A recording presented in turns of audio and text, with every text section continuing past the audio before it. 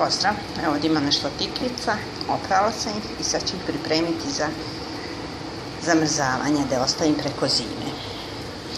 One kad se zamrznu nisu baš kao svježe, ali mogu poslužiti za tvrdo pohovanje, za čorbe, za šta ja znam, za đuveč.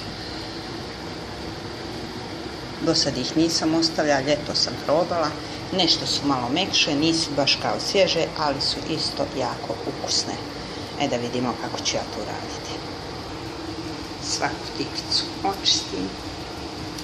Evo, znači one su već oprane, svježe su, očistim ih, tako svaku.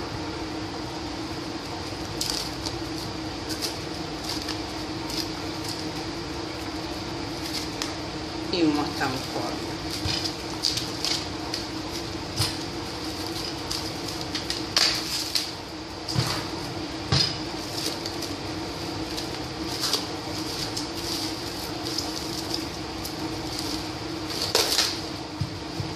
Sad ću ih staviti sve u jednu kesu i u zamrzivač. I to je to do upotrebe. To sam već isprobala. Lijepe su, ukusne, nešto su mekše, postanu malo vodena, ali su jednako ukusne. Pa probajte.